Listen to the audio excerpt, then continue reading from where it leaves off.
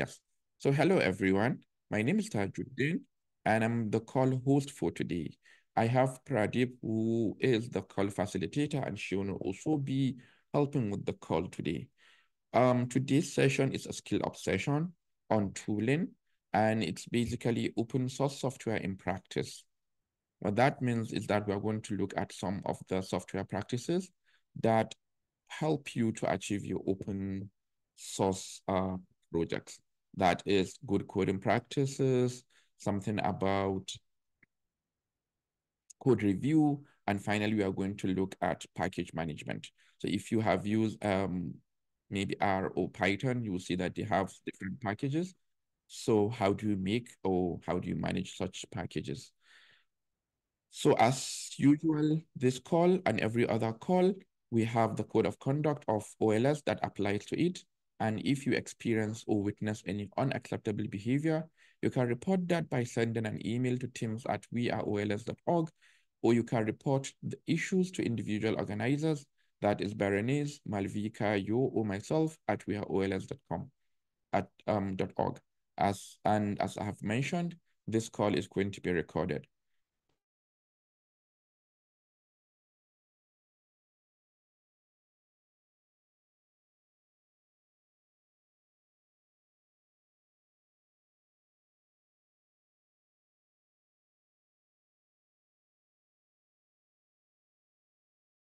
In a speaking French room. And if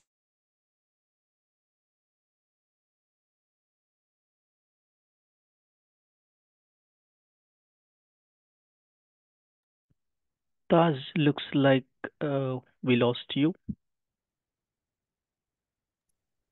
I was going to say the same. I was even thinking maybe it's my computer. Uh, Taj, I think we lost you for a couple of seconds. You're stuck. Okay, but I think I'm back now. Yep, clear for me.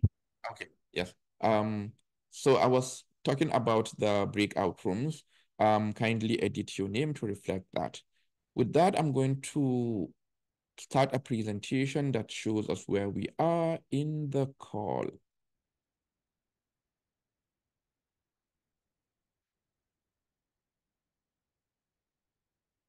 I hope you can see my screen. So this is a skill obsession and it's student for color um, open collaboration and we are looking at soft, open source software in practice. We are currently in week nine of the cohort and this week we also have the mentor-mentee call. This week um, we are looking at the tooling and this is the aim. Um, applying good coding practices to your software, thinking about how you review your code for yourself and for others, and also identifying package management for your project. We're going to have three call, three um, code presentations today.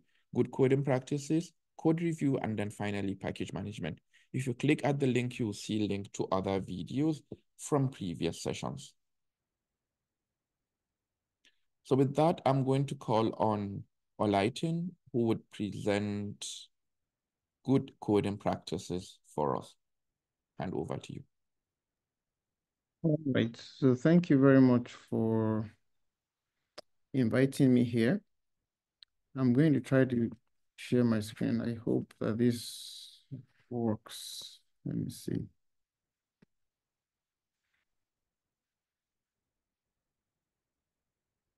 Says my screen is paused. Okay.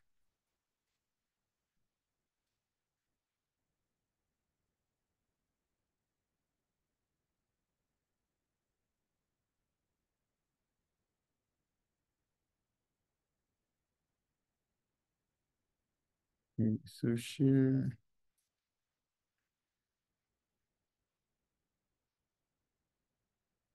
I think it's coming up. Okay.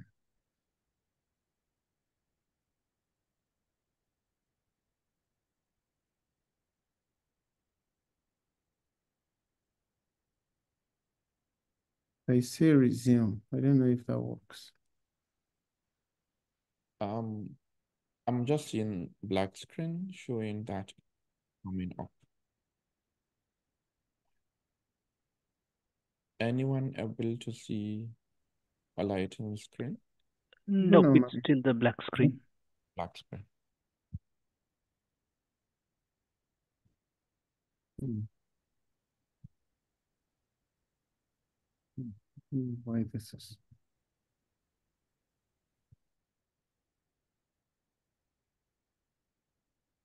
Even if I unshare and then try to reshare.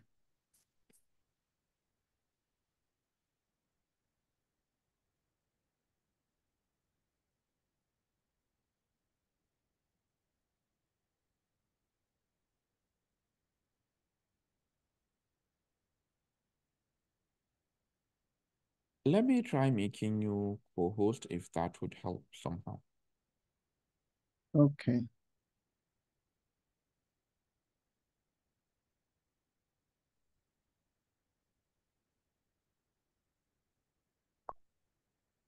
Maybe if you try sharing Oh, again. okay, let me stop sharing. If it doesn't work, I think I'm probably going to reboot the computer to see if that will solve the problem. Okay, so if Bastian, it's okay to go first, maybe you can restart the Yeah, I can try. Okay, please. Let me see if that works from my end. Share window. Let's see. So, can you see my screen? Um, yes. Perfect. Then I would be happy to get started if you want. Yes, please. I think um So, Olatunde is trying to restart his system. and come back. okay, then. Hey everyone, I'm Bastian, and I will talk a bit today about code review and how it can help you improve your code quality. And I want to give you a brief intro about myself first, why I'm today talking to you and my background. So I'm interested in all things open, that's including open source software, which is part of the reason why I'm here. That's open science, and that's also open participation or citizen science. And I've worked at this intersection for, for many years in different ways. So one of the things I've done a couple of years ago was starting a project called OpenSNP, which if you are into biology things you might have heard about, which is like a large open database of human genetic data that is crowdsourced. So it brings together open participation, crowdsourcing data with open science principles. The data is donated in the public domain. And of course, it's written in open source software and it's like out there for other people to reuse. So as I said, it brings these like interests together. And like since then, I have done many different open science, citizen science things over the years. And this, of course, includes also code review in different forms. So code review it can be a bit of a quite abstract idea, maybe. So like to get started, I like so have like a working definition. I did what every good researcher does: go to Wikipedia and see what Wikipedia says, code review says, and see if I agree or disagree. And the Wikipedia blurb says code review also can be referred to as peer review is a software quality assurance activity in which one or more people check a program by reviewing and reading parts of the source code. And that's broadly speaking indeed the case. So like the big thing why we do code review and look at our code and have other people look at our code is to improve software quality and make sure our software works in the best way and the way we think it should work.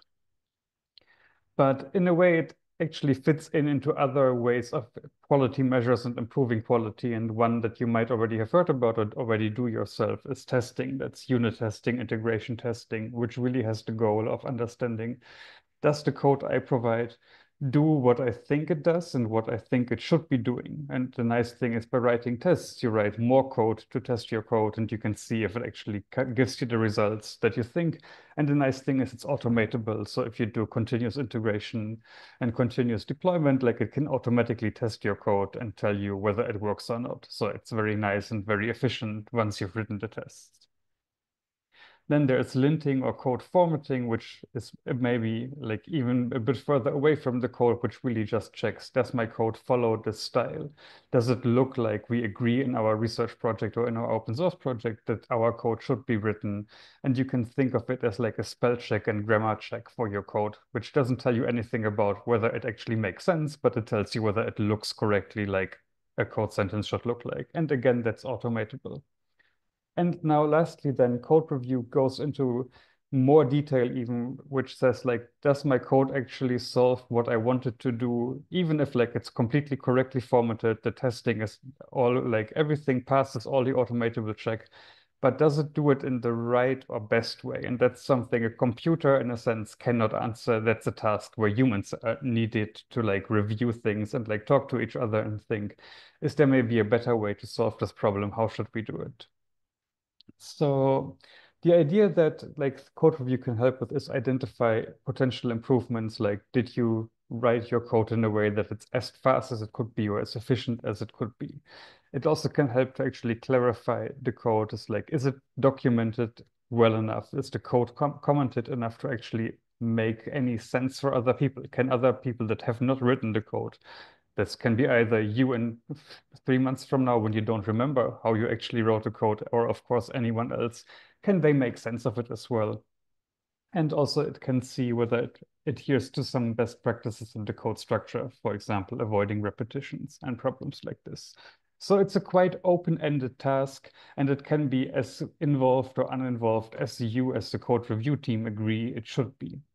So how do you do the reviewing in practice? And there's many different ways, as I said, that you could be doing it. And that's why the answer is it depends. So it depends on how your project wants to do code review and what your particular objectives are.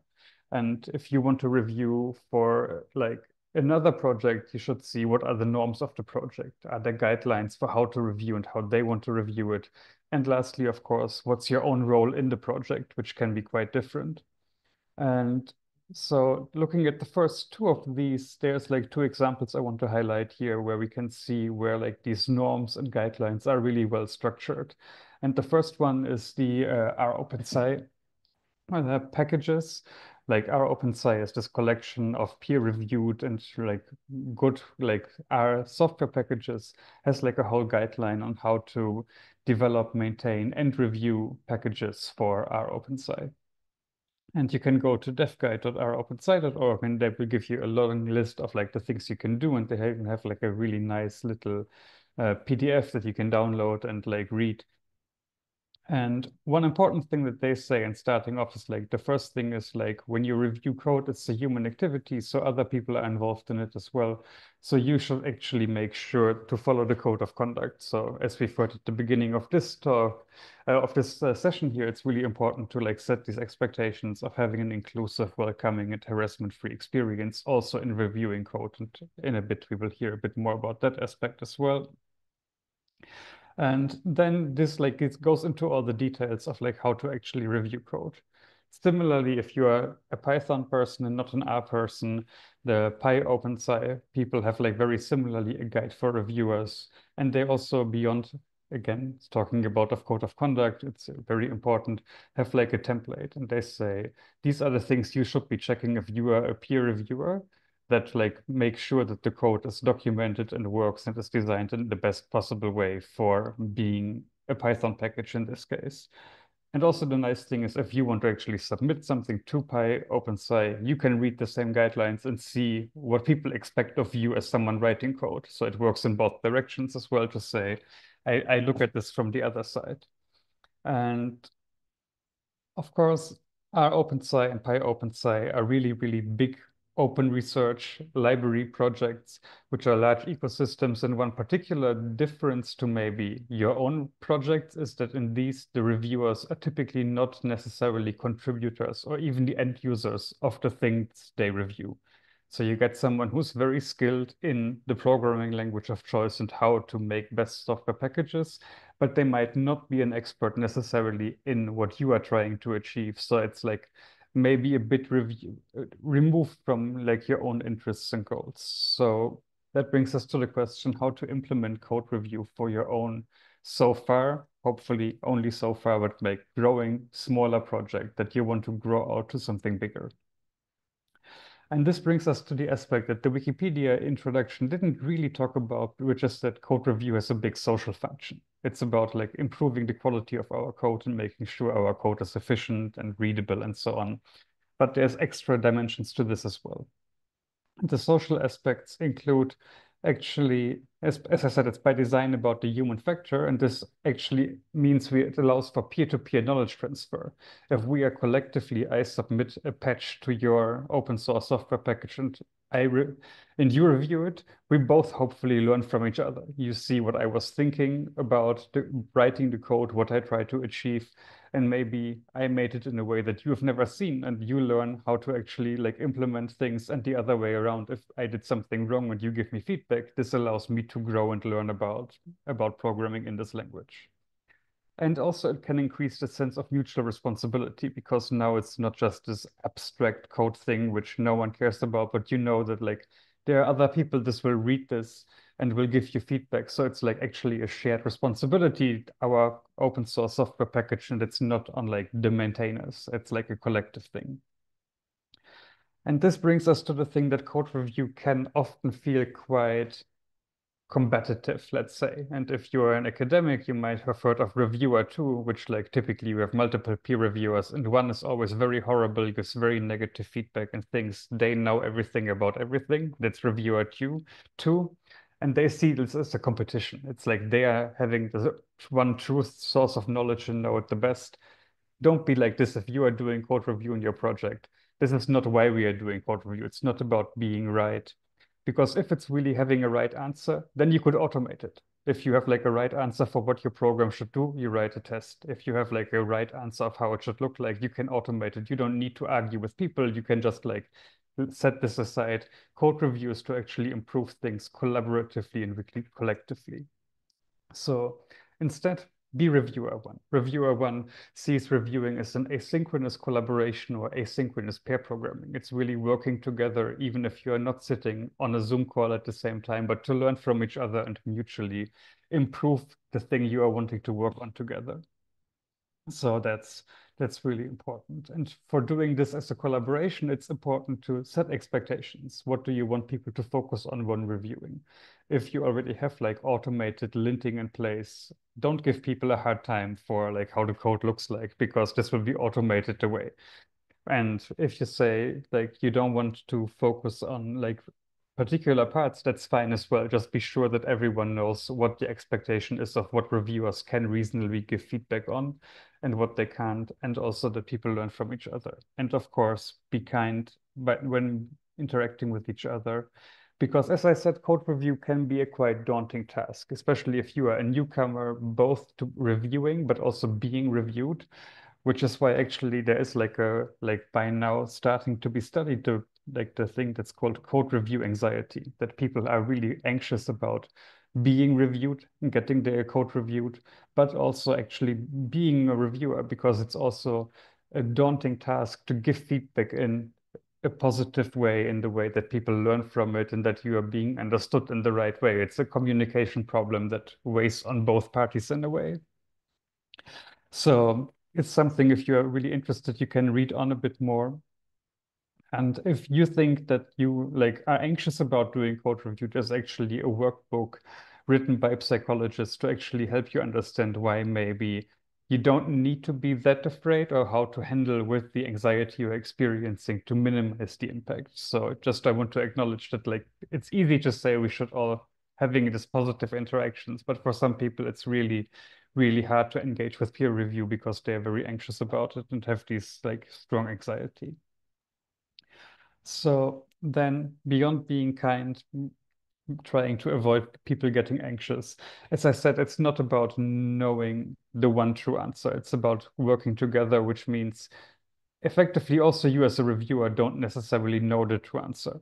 So no one knows anything. Thank goodness. I'm so relieved. I thought it was just me. So ask questions as a reviewer. Maybe people made something that looks weird to you as the reviewer ask instead of saying this is wrong like ask what people were thinking offer suggestions but have like an open mind that also you as the reviewer are not necessarily the one source of truth And lastly, then it's about doing iterative reviews.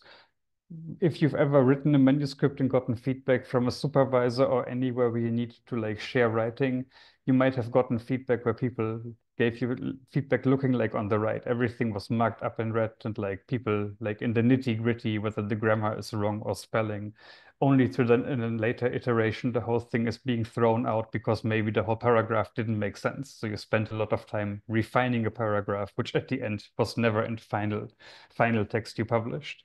So start with the big top level things and only then move down to the details. First, think about, is this the best way to structure the code to actually solve the problem that we are trying to solve before then optimizing in the smaller details to avoid this duplication or waste of effort where people spend a lot of time on doing this. And that's basically it for the, the code review bit. There's a couple of links to the different guidelines which you can use if you want to contribute to rOpenSci or PyOpenSci, but also, of course, learn from for your own projects. I put in the links to the the papers as well. And yeah, I'm happy to do a Q&A and I of course will share the slides in the, the notes document so that you have all of those available. So thanks.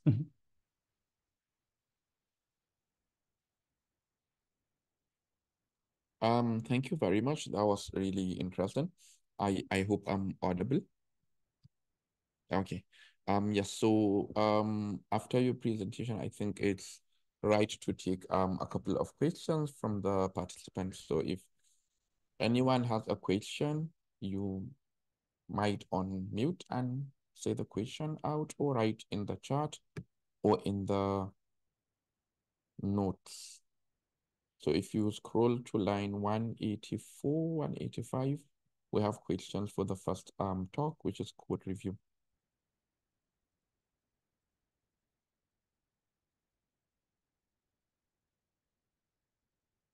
Um, so if you have any question, also you can write it in the chat here or unmute to ask your question.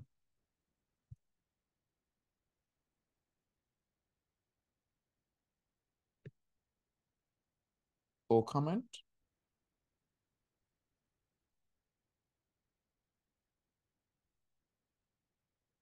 Uh, thank you, Islam.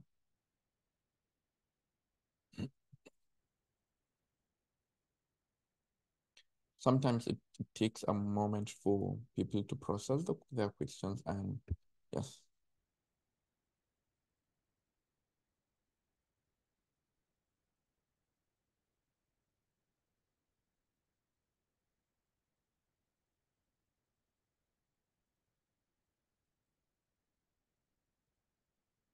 Um, so Jackie mentioned that it was a great presentation and they are going to try to implement in their lab. That's really great.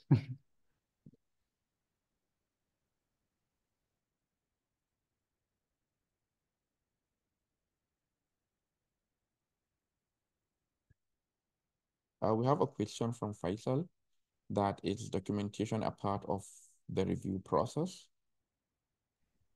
Yeah, I think it definitely can be. As I said, it depends a bit on the, the expectations you set for your review.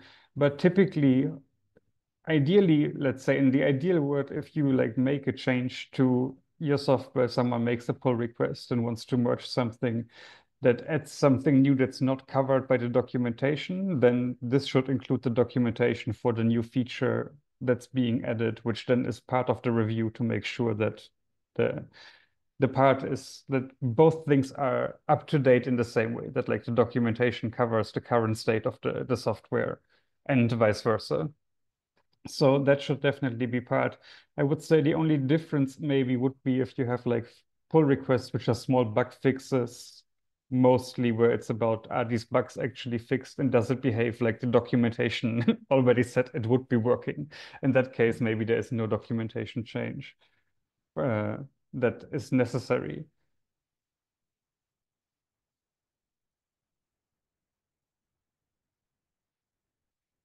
And I see there's another question in the chat which I can read out, which is, are there any training sessions organized in the R Python communities available for how to code review?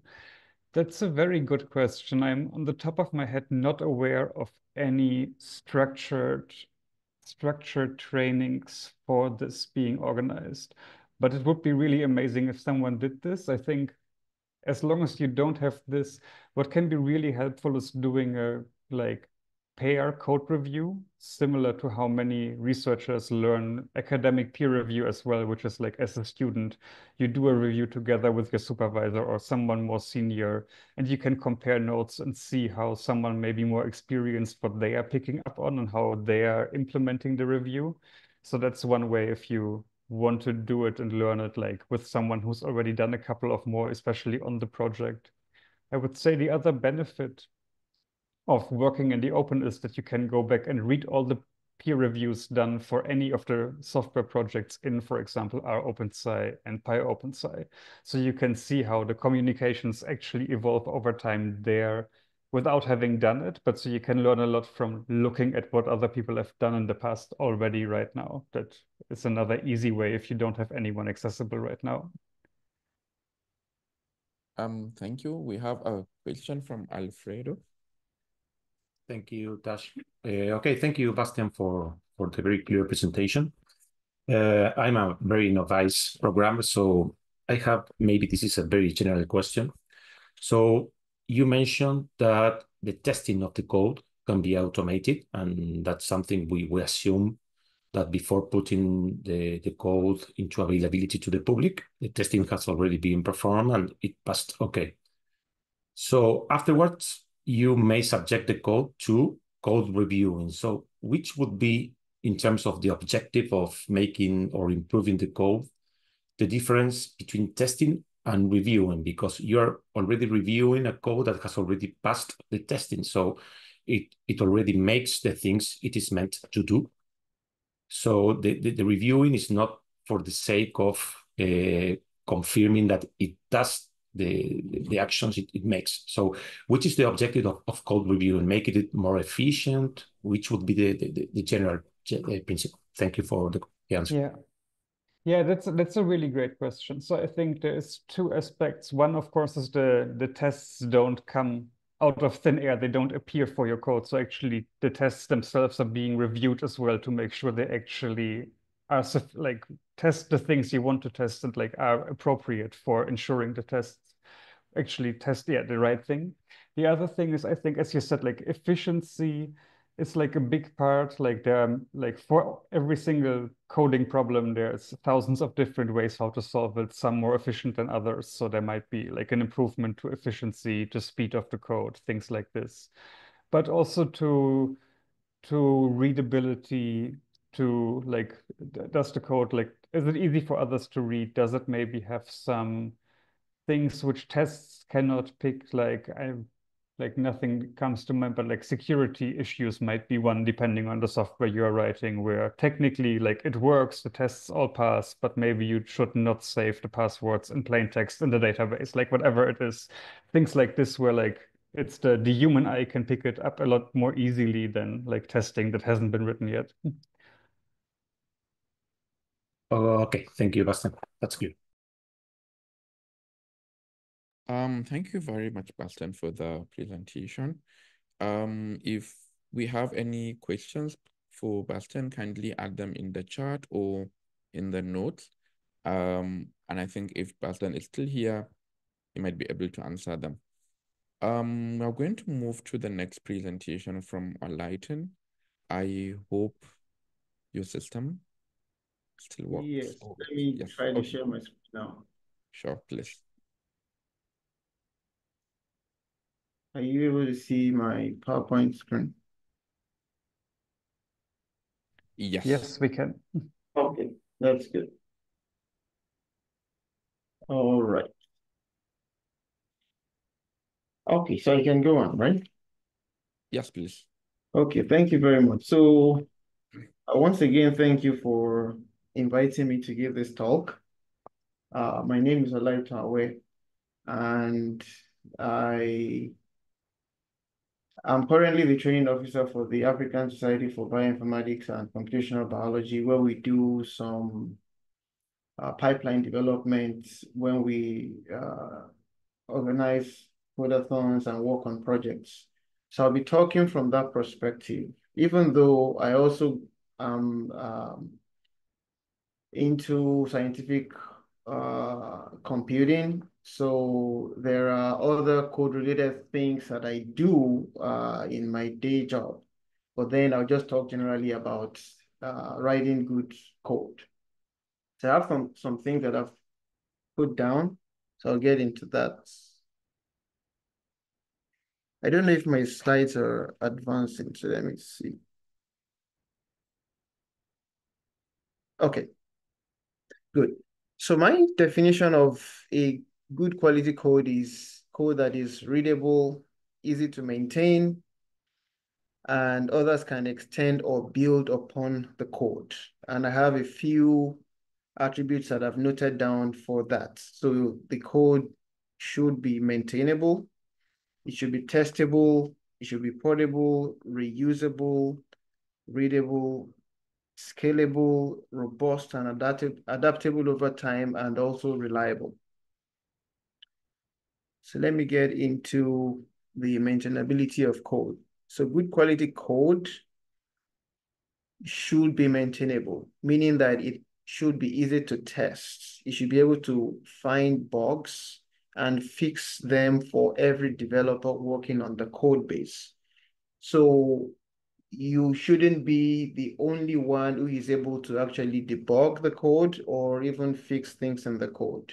It should be whoever gets a hold on the code and tries to find bugs, they should be able to do that without your involvement. So that way um, the code can be maintained. So another thing about good quality code is being testable, right? So you have to be able to use different scenarios to test your code thoroughly. Ideally, you want to start the code development on a development um, server, for instance. And once you feel that the software is at a stage where you want to start to test the features, then you move the code into a test um, server and run the tests. You could do unit tests, you could do different types of tests. And when everything seems satisfactory in terms of how the code um, should work, then you move it to the prod machine where uh, it's being used live to do whatever uh, the software is supposed to do. So testing ensures that broken code does not find its way into the production stage. Then good quality code is code that is portable. So functions should typically not get too long. Otherwise, you should break down the functions into smaller functions or create new functions. So that way, um, the code is portable. You don't want to have like a giant set of several lines for just one function, and then it's hard to um, it's hard to understand in some cases, or when you're trying to fix errors, it's just um, hard to debug. So code is good quality code should be reusable, and I will branch from reusability into reproducibility shortly. So um, do not repeat yourself. So if a part of your code does the same thing in more than two places, you should turn it into a function.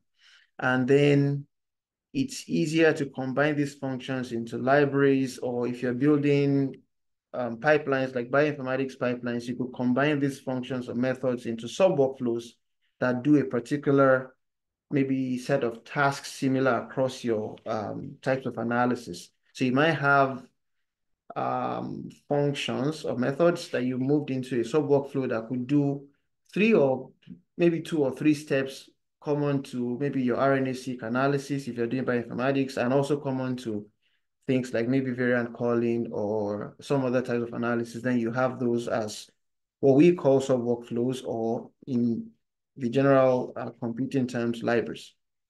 So its reusability is very important. Okay, now I will get more into reproducibility, okay? Uh, and I will talk more specifically about working with biomedical um, data, you know, like omics sequences, could be genomic data, metagenomic data, or RNA-seq data, things like that. The idea of building a reproducible pipeline is you collect your data and then you write code to do some type of analysis on the data. So which is basically what we call pipeline development. And when you do run the pipeline against your data set, you should generate some outputs, which you can then interpret in order to advance the knowledge of biology and health. Uh, reproducible pipelines have been made easier with the um, with the evolution of frameworks like Nextflow and SnakeMake that make writing of pipelines easier so that somebody that doesn't have the nitty-gritty knowledge of things like Python or Bash or whatever language you use can use these workflow engines to run their to run your pipeline and generate the same results that you have generated from your end. So I'll talk about the workflow management systems that enable reproducible coding. Um, we have a number of them. Uh, one of them is Nextflow. Nextflow is a workflow engine that enables interoperability. So you can run code uh, in different computing environments. For instance, you can run it on your high performance computing cluster, your local machine, in the cloud, maybe Amazon Web Services or Google Cloud, and you get the same result. You write the uh, pipeline. Sorry, are we supposed yeah. to be seeing second slide? No, I thought I was advancing to the other slide. Okay. We see the second slide yet. Oh, yeah, still seeing the second slide. Okay. So which slide are you seeing now? Uh, fourth. Oh, I see. Okay, so that means it's okay. So that means it was showing a different. Uh, okay, I think I would probably just advance it from the sidebar. Yes, please. Okay, fine. Okay. Okay. Um, I don't know whether I should recap some of the things I've said or I should just move to the workflow engines part. Okay, I can just go quickly on this. So I talked about maintainability of code, which essentially means every developer working on the code base should be able to find bugs easily and test. Then I talked about you, when you're doing your um, code development, you want to start working on the dev server, then you move the code to the test stage where you do um, all your tests. And once all the tests pass and you think you're ready to go, and you go live by moving the code to the production server for uh, you know, your users to be able to actually uh, use the service or the code. Then I talked about portability of code and breaking down of functions uh, and not just have one huge giant function. And I talked about code being reusable, meaning that you don't want to repeat yourself. If you if a part of your code does the same thing in more than two places, just turn it into a function, and then you can combine these functions into libraries or sub workflows. Then I went into uh, reproducible uh, pipeline development using bioinformatics as a case study. Then I started to talk about the workflow engines.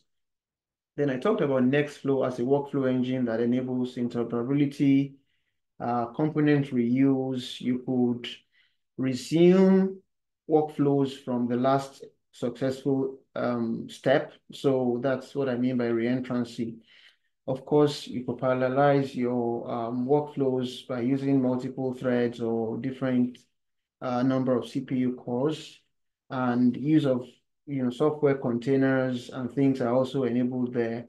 So it makes reproducibility easier.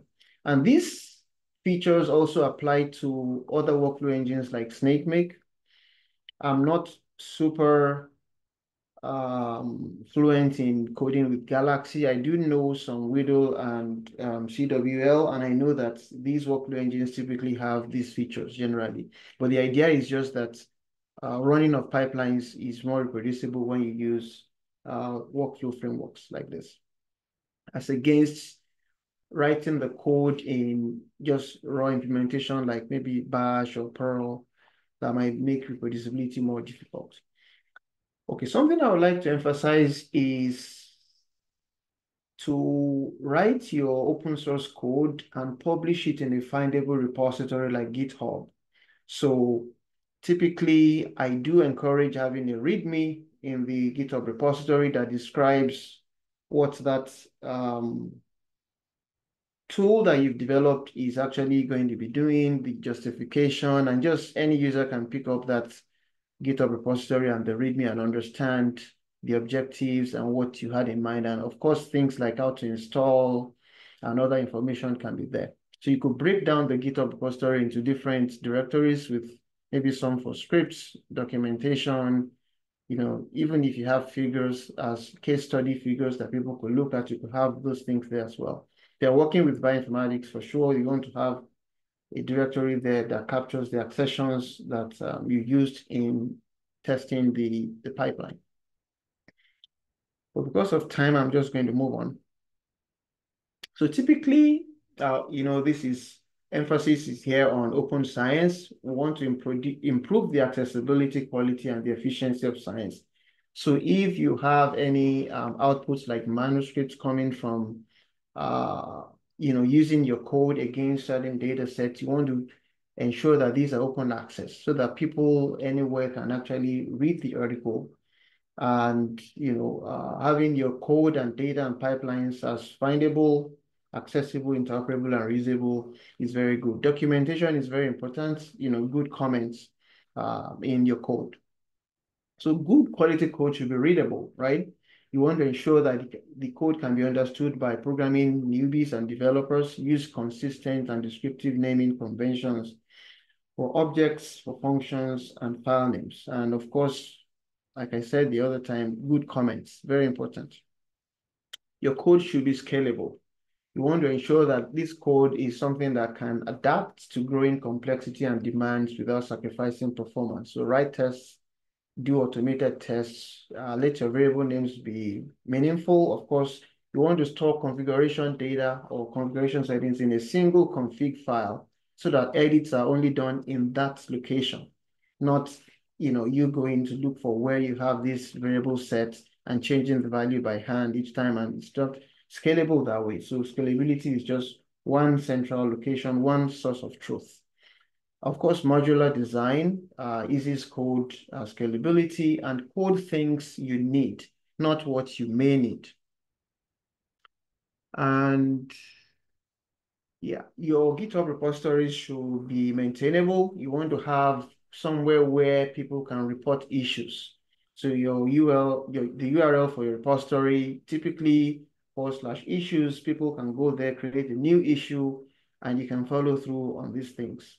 Uh, people should have a way to contribute to uh, your open source projects for sure by basically forking the repository and making proposed changes. They submit a pull request, you look through those, and then you're able to um, get all these um, changes being made. So your code should be robust and adaptable. I get the code reviewed. I'm glad the previous speaker talked extensively on code review, so I don't want to uh, overemphasize that. So embrace criticism and of course keep refining the code. And, you know, of course it should be reliable, easy to test and update without, you know, easily breaking. The code should perform as intended. So I do like to talk about automation a lot, but if your application is in the biomedical space, I would recommend using a workflow management system to implement your code. Otherwise, of course, there are different program programming languages you could choose depending on what suits your use case. So if you're interested in the life sciences and bioinformatics, these are some of the areas that you might want to consider, um, you know, transcriptomics, metagenomics, human genomic variation and things like that. So it's easy to kind of um, read about these things and find public data sets you could use to uh, practice uh, bioinformatics. All right, so this is pretty much my final slide, which is if you want to start writing good quality code for bioinformatics, which is what I advocate for, you could get uh, public data from the SequenceRead archive. These are repositories, SequenceRead archive, Gene Expression Omnibus, the ENA, RefSeq, GenBank, and do the type of analysis you like. As part of what the African Society for Bioinformatics and Computational Biology does, which is to advance bioinformatics in Africa and of course beyond Africa, you could check some of the projects and Codathon projects that um, I have been able to facilitate in this URL. Thank you very much. Um, thank you very much, Olaitan. So uh, we have a few questions in the note. The first one is any example of good coding practices? Okay, example of good coding practices. Mm, yes. Yeah, um, so the examples of good coding practice, well, I will just say that um, I mean, it's very important to be able to get other people's inputs uh, from your work, uh, like reviewers. That's that's already been talked about. Um, I will, if depending on the application, right? So if you are doing bioinformatics in your code, my recommendation is make your workflow reproducible by using a workflow engine like one of the ones I uh, mentioned. It could be Nextflow or SnakeMake or CWL or WDL. So reproducibility is very important because the reviewers sometimes are not very savvy with, with Bash or Python, right? But if you implement your code in some of these uh, workflow engines, they can just run it without necessarily understanding the uh, underlying what's happening under the hood. So it's easy to regenerate your result and of course, uh, endorse your manuscript if they see that uh, it's pretty uh, straightforward than if they have a hard time understanding what you've done or trying to see if they can reproduce the result. So that would be one other thing. Uh, as much as possible, have a GitHub repository where your code lives. And even if you've decided to submit your, your work to some, um, maybe my um, journal, for instance, they want to see uh, that the code lives somewhere and they can test uh, or run the code against some data set. So those will be some of the things that come to mind immediately. But the entire presentation is actually about practices anyway. Um, thank you very much, Olaitan. The second question we have is when to decide whether to modularize the code or just run the code directly. Um, and then there is a complex RNA sequence pipeline versus simple tasks. So I'm not sure if that's the answer or that's part of the question. Yeah, so when to decide to modularize the code is if you realize that some of the functions or steps of your analysis will be used in some other. So maybe let's say that your entire analysis has a couple of, uh, your entire work or project has a couple of analysis types. Modularize your code if there are common steps across the analysis types generally you want to do quality control and maybe you want to do some trimming regardless of what your data is, right? So you could have a module that just takes the two steps of uh, trimming, um, quality control of your reads as well as trimming. It's a module. You could apply that to both of the uh, of the analysis that you're doing for your project. So those are uh, simple things. Just combine. The idea is to combine functions or methods into one place that can be shared across um, across pipelines.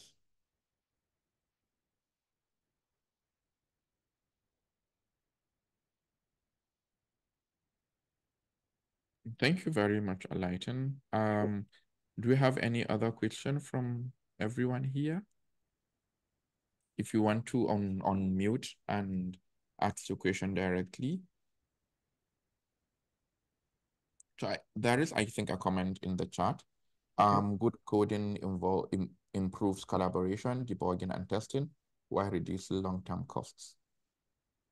Yes, that's very true. Correct. Thanks for that addition. Um, yes, thank you very much for the presentation. Sure. Next, we are going to have breakout room, which Pradeep will introduce. And um, there are still a few participants that have not yet um, selected their preference in terms of the breakout room. Kindly do that before we open the rooms. And I will let Pradeep introduce the breakout session and then I'll open the rooms. Thank you, Taz. So our today's uh, breakout discussion topic would be bug in a scientific tool. So think about a bug you have encountered in a scientific tool, either as a user or a writer of the code itself. And was this software code open? And if not, could openness have made any difference to this tool, whether the bug could have avoided if it was open source. So this would be the topic of the discussion and uh, we would like to, you know, the directions for the written discussion rooms are each room will be assigned three, four members. So please agree if you want to use as this on a document directly, write on the document Etherpad or Zoom chat. And each person could take 2.5 minutes to uh, write down their response and the next five minutes each uh, person go through the document and comment on each other's notes. So uh, please, once you go to the breakout room, please uh, uh, write your names and your comments in the uh, uh, chat Etherpad so that once we, we are back, I hope we have time to discuss your uh, learnings from the breakout discussion. Uh, Taz, you are muted. I'm sorry about that. So in a moment, I'm going to create the breakout rooms and the breakout rooms will be for 15 minutes. If you have any issues while in breakout room, please let us know. We'll come back and help you out. And yes. you will have a reminder before the breakout room surprisingly closes early. Yes, we have people already joining the breakout rooms. So I did not assign any of the presenters to a breakout room. If you would like to be, please let me know. Um, so uh, let me wait until like everybody. Should we pause the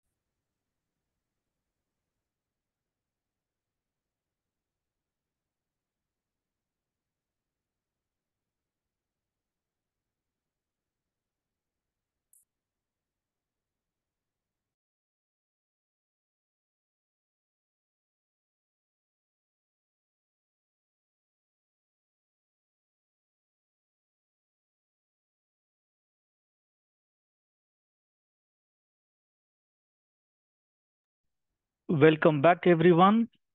Almost most of us are here, and some of our colleagues are still engaging in nice discussions. They'll be back very soon. So, meanwhile,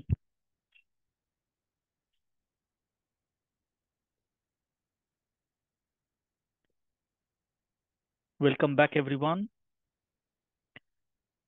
Uh, please, uh, please try to write notes in the Etherpad after uh, once the session is over, once you have some time. So meanwhile, let's proceed to our next segment of today's cohort call, which is uh, the topic would be about package management. It would be uh, uh, uh delivered by uh, our speaker, invited speaker, Ruth Nanjala. So welcome Ruth Nanjala to speak on this topic, package management. Please help us with the how to do package management and the principles. Yeah, uh, thank you so much. Um, and hi, everyone. Uh, as you've been told, I'm Nanjala Ruth. I am based of Oxford. I'm doing my PhD here, but I'm also part of the carpentries community. I'm a certified carpentries instructor, and I'm also part of the Bioinformatics Hub of Kenya. And also, uh, I sort of like uh, co-founded My Science Journey, it's just a platform for uh, science storytelling.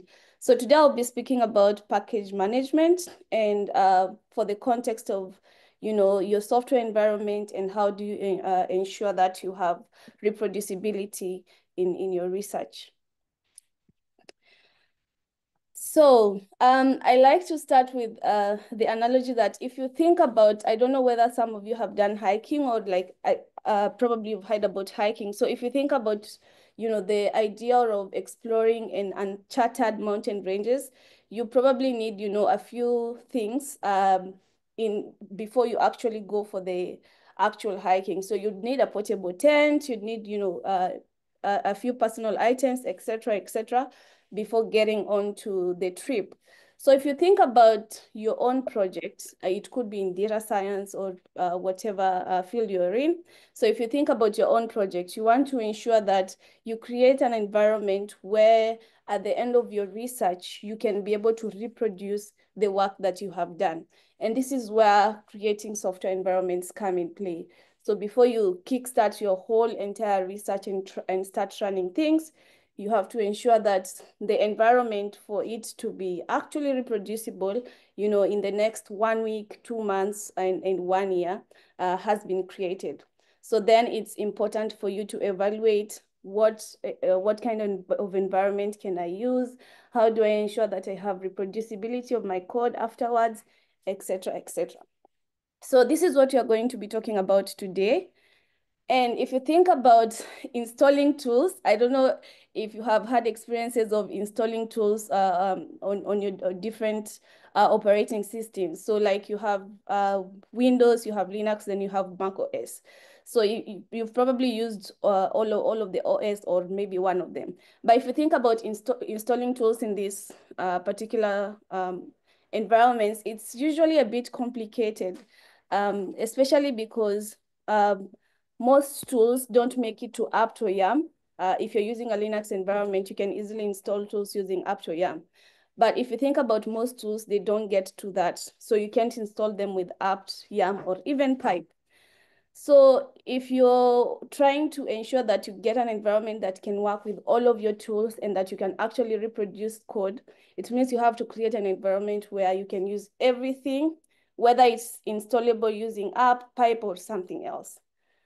So yeah, this is just a pie chart that shows the complexity of trying to install tools and automation and things like that. And this is just like a graph that shows the dependency how and why it's important for you to actually have an environment that would ensure that, you know, if someone is going to use your software, they can actually reproduce the kind of results that you got or even yourself, you know, sometimes we say, you know, my code was working, but now I don't know what happened to the code. you know, it's like it's no longer working and I can't explain why my code isn't working.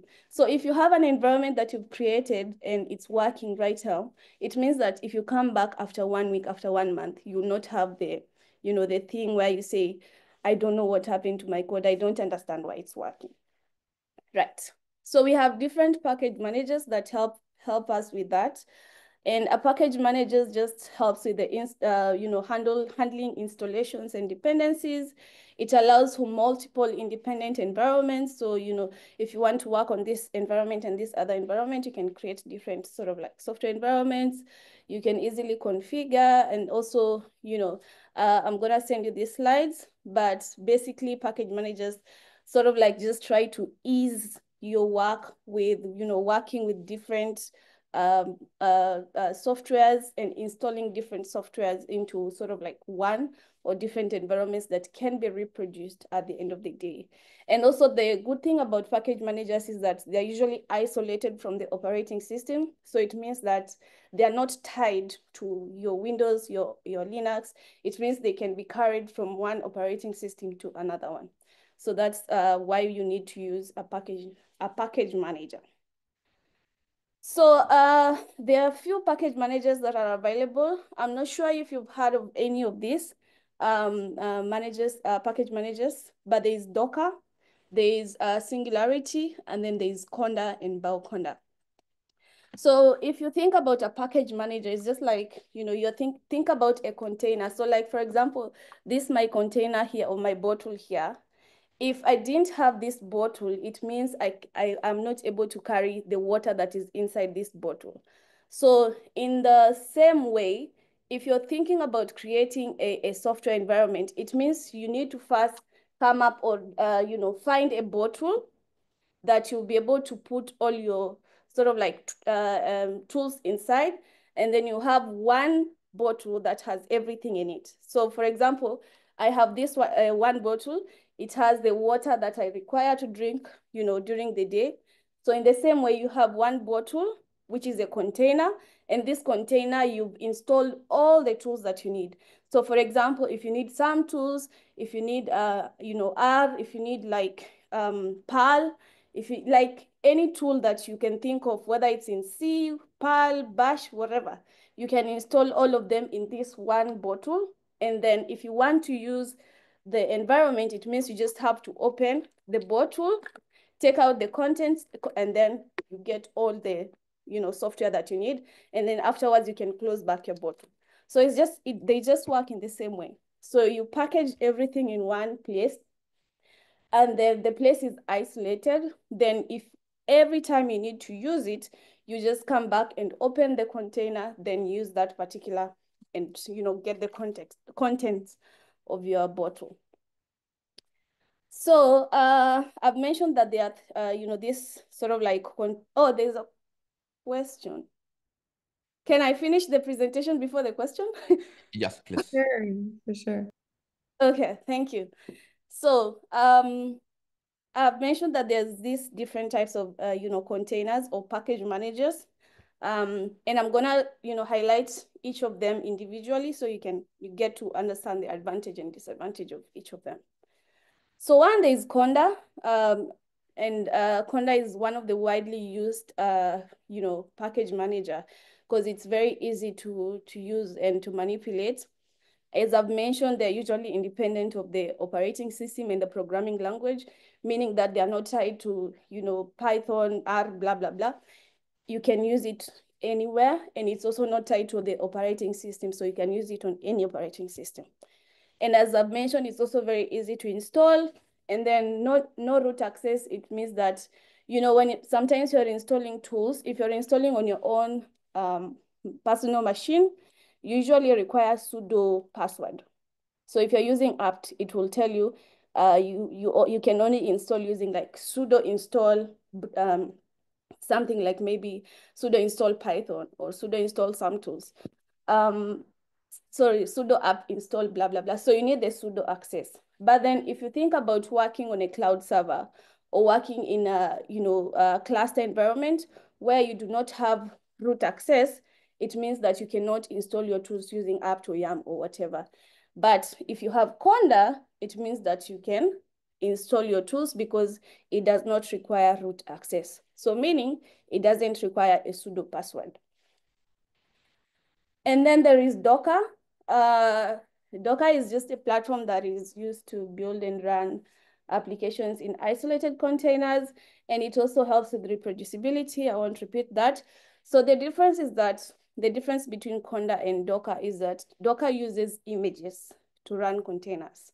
So that, this might sound a bit, you know, a lot to process in, in this one session, but um, basically you need to create or to build an image before you, you run your Docker container.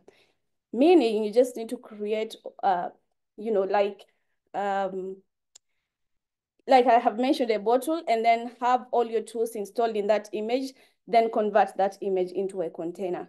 It's very easy to learn how to do this. Uh, it's not complicated, but yeah, that is how it uh, it works. The only difference is that this one you require you're required to build an image before you get your container. But with Conda, it's very easy, fast, fast. You can you get your all your tools in one place. So you can easily use uh, images that are on third-party registries. So third-party registries are things like Docker Hub, or Quay Hub. These are things that you can just Google online and then you, you go and, and look at all the images that they have. And, uh, you know, some of them could be images that you can use. Um, so images is just something that contains tools, right?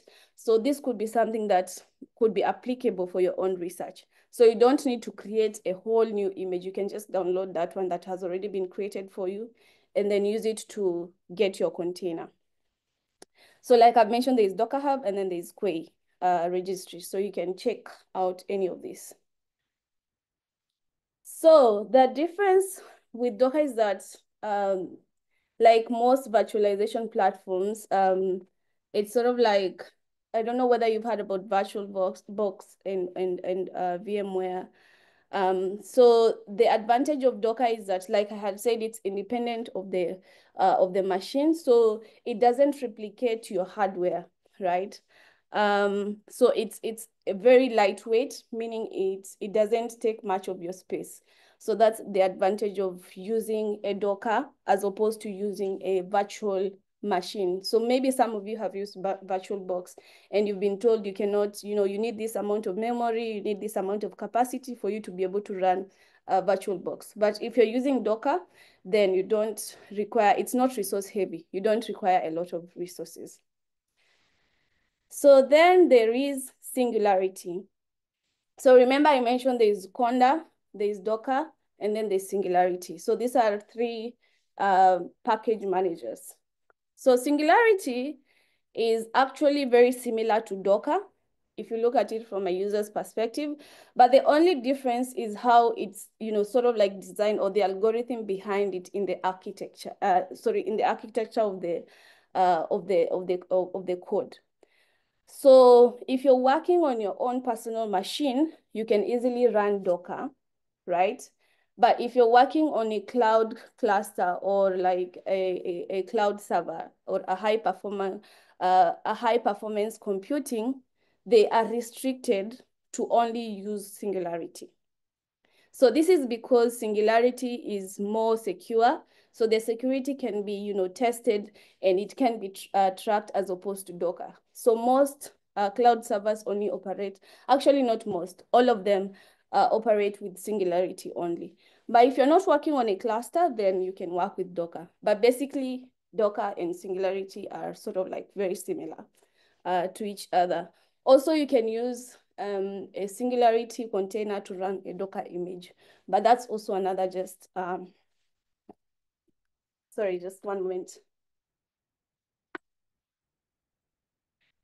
Yeah, so you can use a Singularity uh, to run a Docker image on your cluster, but that's something else that if you're interested in learning, I can share the materials later on. Yeah.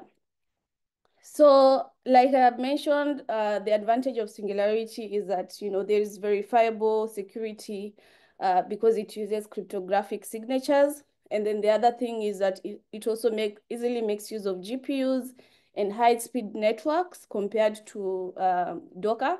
And that's why most, um, actually not most, all cloud servers use uh, Singularity. So yeah, uh, these are further, you know, resources on each of the two, uh, three package managers that I have mentioned, Docker, sorry, Docker, Conda, and Singularity. So you can check them out. And if you have a question, you know, even after this session, I am happy to answer them and to sort of like help you understand them uh, because I've been able to work with all the three package managers and uh, sort of like uh, able to identify issues which, with each and every one of them. Yeah, so I think that's all the presentation I had. So now I can take questions uh, from you guys. Thank you, Ruth. So any questions for Ruth in the chat or in the Etherpad? So we have one comment, love yeah. the bottle analogy. And then uh, also thanks for the presentation. Any preference among the platforms from the user's perspective? when Yeah. Conda, yeah. Thank you. Uh, sorry. Uh, thank you. Um, yeah. Thank you so much. Right. Uh, so any preferences among the platforms? So yeah, I would say if you're a beginner, Conda is the very like is the easiest package manager to use, honestly. So if you don't, you know, if you don't have a lot of time to learn Docker and Singularity, you can easily jump and you know kickstart on with with the Conda. So that's easy to learn because you just need to sort of like do install Conda, Miniconda, and then do, do Conda install, whatever. So you can create a whole environment, but that's easy to follow. The advantage of using Docker and Singularity is that Docker and Singularity, like I had mentioned, uh, they use images. So these images are stored on registries. So there is a Singularity registry is called Singularity Hub, I think. Uh, so there's a Singularity registry, and then there's a Docker hub for Docker, and then there's a Quay registry that stores both Docker and Singularity uh, images. So the advantage of, uh, of Docker and Singularity over Conda is that after one year, after two years, uh, you can easily, you know, access everything because it's online and it's publicly available. You can easily just go online and download the image and run it on any machine, right? So Conda, unless you've stored your Conda environment somewhere on your machine, which potentially might, you know, something might happen to it, or, I mean, you know, things happen to computers. I don't want to mention, but yeah, uh, the thing is that uh, you need you need a place to store your environment. So you could put it on GitHub, If you have it on GitHub, that's uh that's okay. You can easily just get the environment from GitHub and and and, and get it back. But the thing about Conda is that sometimes it it sort of like collides with the uh the base environment that you've created. So even if you create a whole new environment, sometimes they clash together and you get all these kind of errors that sometimes are very difficult and hard to process and solve. You can resolve them, but it's just tough. So the advantage of Docker and Singularity is once you've created uh, an image and you run it in a container, it sort of like runs very separately from everything. So it's not tied to your operating system. So it means even after 10 years and they've updated my Python, maybe now it's no longer Python 3, it's Python 10. If I just use the same container and my, my research was running on Python 3, I can still run it on, on that sort of like container. Does that make sense? So it's Conda is easy uh, to use initially. Docker and Singularity require a bit of time to learn, but at the end of it, like compared, like comparing the three of them long term, it's uh, it's uh, it makes more sense to use Docker and Singularity because because you can easily just uh, you know get back your original uh, uh, environment that doesn't have complications with your base environment. Yeah, I hope that answers the question. Um, Mata, sorry, I hope I'm not butchering. No worries. Thank you so much. I guess I have a, a kind of, thank you for the great presentation. I have a strategy kind of question because we've been working on a code. My code is mostly C++ based. So yeah. we've developed certain uh, also Docker to keep all the dependencies and versions. But since yeah. every time when I need to change the source, you know, I have to go to the source and then create a new image for the new Docker version. So in terms of maintaining all of that, um, what would be your advice, you know, whether one for that source code part that a developer usually needs to manipulate, yeah. and then for let's say a Docker version um, yeah. that kind of keeps it together? Yeah, so my advice would be if your software environment or if your research is still, so for example, let's say I was using Python 3, right, initially, and my uh, sort of like my research is still, or whatever code I was running is still tied on Python 3. The easiest way to ensure that you don't have to keep updating the, the thing is to have your image stored on a registry. So get your, uh, push your, your image to either a Quay or Docker Hub. And then anytime you need to use it or anytime anyone needs to use it, they don't need to use any other Python version. They can just simply use the Python version that you installed in your Docker image. Does that answer the question? Yeah, thank you. Yeah, I think there was a second part to the question. Maybe I missed it. Was it with the Mata, I think. Which one? Sorry. I don't know whether I answered both questions at once or like they were sort of like separate. Okay. It was good. It was good. Thank you. Thank you. Yeah, it, uh, image registry. This is what I got out of that. Thank you. Yeah. Um, Thank there you, is Mata. discussions for um, pushing uh, your image to a registry to the Docker Hub or Quay. You have to go through GitHub, but it should be publicly available to, to access. Yeah. Thank you, Ruth, for generously answering all the questions. Uh, I know some people like me have too much uh, from this session, so we'll come back to the notes and recording and Mark uh, reach out to you for further questions. So now I'll pass it on to Taz for closing part of the session. Thank um, you. Thank you very much, Ruth, and thank you also, Pradeep. Um, so thank you everyone for joining to this session if you look at the notes, we have a, an assessment, not assessment, actually a survey to understand how you are faring along with the cohort in general. So if you'll take some time after this call to answer, I'm also going to follow up that with an email so that we have more visibility for those that were unable to join us today. But with that, I would close the call and say thank you very much for joining us.